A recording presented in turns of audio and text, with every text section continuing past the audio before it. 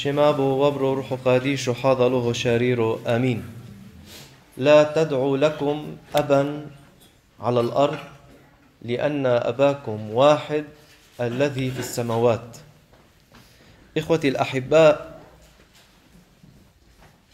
بعض الذين يسمعون هذا القول ويعرفون أن الكتاب المقدس يوصي بأن يكرم الإنسان أباه وأمه.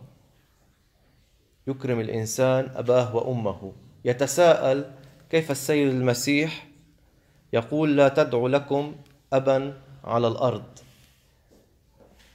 الكتاب المقدس الذي على لسان الملاك جبرائيل بشر العذراء أن يسوع المسيح المولود منها سوف يرث عرش داود أبيه. ويسوع هو ابن داود ابن إبراهيم كيف ينهى يسوع عن أن يدعو الإنسان أحدا أبا على الأرض هل في الكتاب المقدس تناقض؟ هل في تناقض مع قول السيد المسيح من أحب أبا أو أما أكثر مني فلا يستحقني؟ طبعا لازم نفهم أولا ما هو مفهوم التناقض لكي نستطيع أن نجيب على هذا السؤال. إذا قلت مثلا الأسبوع الماضي إلياس كان في الكنيسة وكان في القداس. وقلت أيضا إلياس نفسه الأسبوع الماضي لم يكن في الكنيسة ولم يكن في القداس. بالظاهر تناقض. ولكن في افهم الكلام بمعنيين مختلفين. في يقول الياس كان في القداس قاعد على المقعد بالجسد ولكن راسه ما كان بالقداس ما كان بالكنيسة كان عم يفكر بغير محله وبالتالي هو لم يكن في الكنيسة لم يكن في القداس.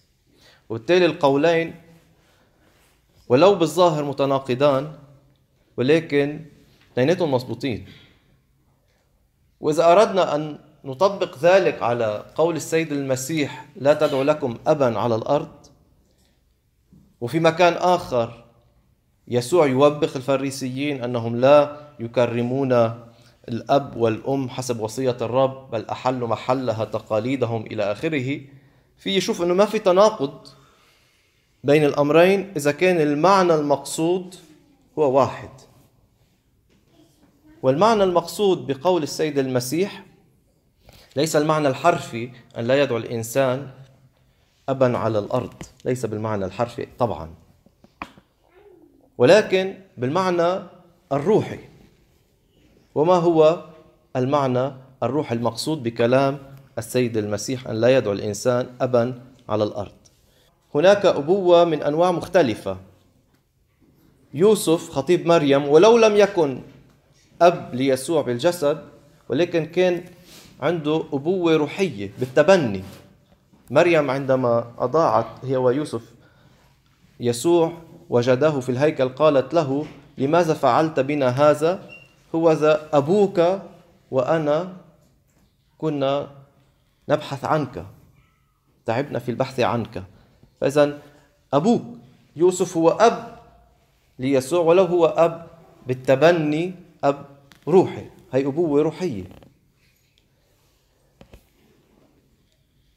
اليهود أيضا دعاهم السيد المسيح أنتم من أب هو إبليس. لأن أعمال أبيكم تريدون أن تفعلوا. فإذا لأنه تشبهوا أيضا بإبليس فصار فيها العلاقة تعلموا من إبليس فإبليس هو معلمهم وهو بالتالي أبوهم. هي كمان نوع من أبوة روحية ولو هون بالمعنى السلبي. مربولوس الذي بشر في كورنثوس في تسالونيكي إلى آخره كان يدعو الذين بشرهم أولادي أولادي الأحباء. كان تيتوس تيموتاوس هو اللي يقول يا ابني تيتوس يا ابني تيموتاوس. هو الأولاد روحيين. بيقول لهم لأهل كورنثوس وإن كان لكم ربوات من المرشدين وإن كان لكم ربوات من المرشدين لكن ليس أباء كثيرون. لأني أنا ولدتكم بالإنجيل في يسوع المسيح. يعلمهم أنه هو الأب الذي ولدهم بالإيمان. الولادة الجديدة الولادة الجديدة من الله بالإيمان التي تحدث عنها إنجيل يوحنا عندما قال أما الذين قبلوه فأعطاهم سلطانا أن يصيروا أولاد الله. أي المؤمنون باسمه. هاي الولادة الجديدة أعطاهم سلطانا أن يصيروا أولاد الله أي المؤمنين باسمه. الذين ولدوا ليس من دم ولا من مشيئة جسد ولا من مشيئة رجل بل من الله ولدوا. إذا الولادة الجديدة بالإيمان من الله تجعلنا نحن أولاد الله.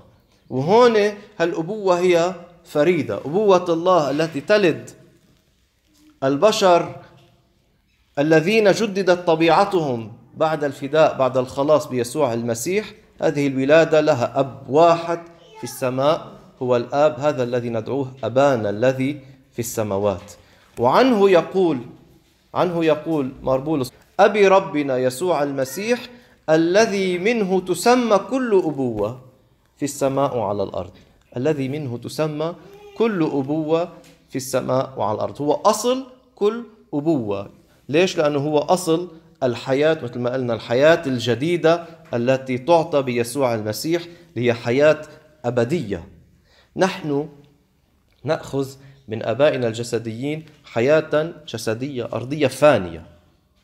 ولكن من الله اللي بيسميه ماربولوس أبي الأرواح نأخذ الحياة الأبدية ومشان هيك؟ هذه الحياة لها أب واحد والأب الذي في السماوات. شيء آخر يتفرد به الآب الذي في السماوات وأنه يعطي هذه الحياة ويعطي معها الحرية. خاصية الأب على الأرض أن يقود ابنه إلى النضج إلى الحرية. ونحن أيضا فينا نقول على المستوى الروحي الأب الوحيد الذي يقود الإنسان ليصير إنسانا ناضجا. حرا هو الآب السماوي. يصير حرا بالمعنى الروحي حرا من الخطية. غير مستعبد للخطية ولأهواء الخطية.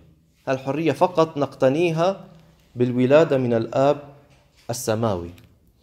دور الآباء أن يقودوا مثل الآب السماوي أن يتشبهوا به أن يقودوا أولادهم مثل ما قلت إلى النضج إلى الحرية. لما يكون الإنسان قاصر يكون تحت وصي تحت مؤدب. بده مين يربيه مين يكبره إذا كان الأب أب يتشبه بالآب السماوي هو الذي يعرف كيف يقود ابنه إلى النضج إلى الحرية الكاملة.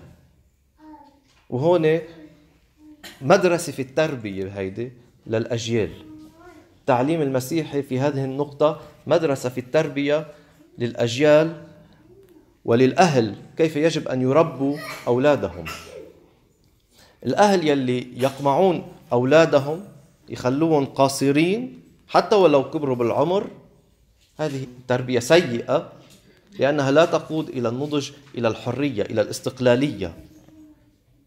وبنشوفها كثير بعيالنا كيف ممكن مرات الأهل يبقوا قاسيين يبقوا عم بيخلوا الأولاد شو بفهمك؟ بكرة بتكبر بتفهم. هلأ أنت ما بتفهم شيء إلى آخره بيعاملوا الأولاد بنوع من القمع.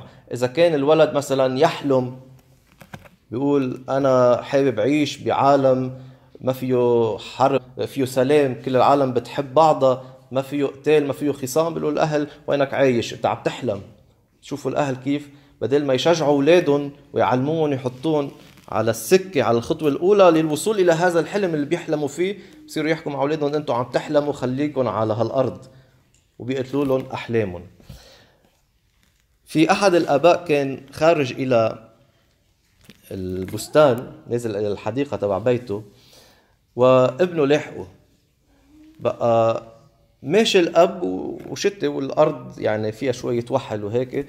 فبيمشي الأب بالبستان ابنه وراه. بيلحق دعسات بيو. وين بيمشي البي؟ بيمشي ابنه. الابن بيطلع على البي بيقول له بي أنا وين أنت عم تمشي؟ على آثار دعساتك أنا عم بمشي تما آخذ وحل تما دعوس بالوحل هيك بعرف حالي بمشي بأمان بلحق دعساتك بي انبسط منه. قال له كثير منيح هيك عم تنتبه عم تلحق خطواتي تقتفي آثاري هيدي كثير منيحة لما تدعس بالوحل. ولكن إذا بس مشيت هيك أنت مش رح تترك أي أثر خاص فيك. مش رح تترك أي أثر خاص فيك. وبالتالي هذا البي ولو قدر إنه ابنه عم يلحقه وماشي وعم يتعلم منه حلو كتير. ولكن إذا بده أيضا أن ينمو هذا الطفل لازم هو أيضا يكون له آثار ودعسات مختلفة عن الآثار تبع بيه يترك هو أيضا أثر. وهيك هذا البي كان متيقن كيف يمكن أن يترك ابنه ينمو.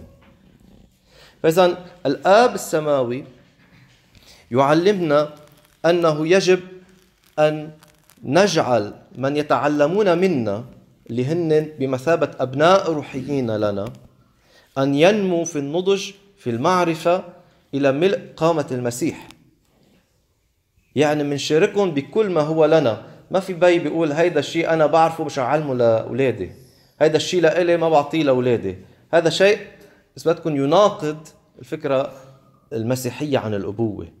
الله الآب شاركنا في كل شيء. أول شيء أعطانا ابنه حياته. والذي جاد بابنه كيف لا يعطينا معه كل شيء.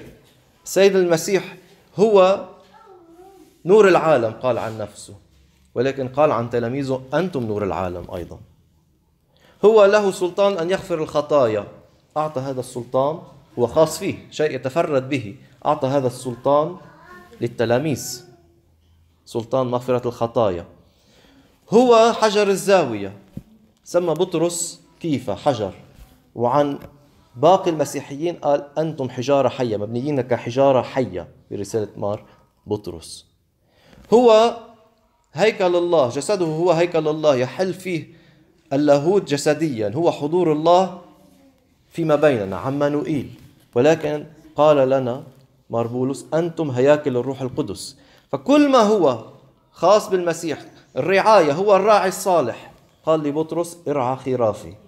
شوفوا كيف يشارك فيما هو له. فإذا ما هو له هو خاصته الأبوة هي مطلقة لله ولكن نحن يمكن أن نصير آباء بالمعنى النسبي نستمد أبوتنا من أبوة الله. هذا ما يجب أن نتعلمه إخوتي اليوم من الأبوة الروحية أي أن لا نبحث عن الأسماء والألقاب والتبجيل التي كان يبحث عنها الفريسيون كانوا يحبوا يعيطوا لهم رابي وسيدي ويا معلم ويا ملفون ويا أب.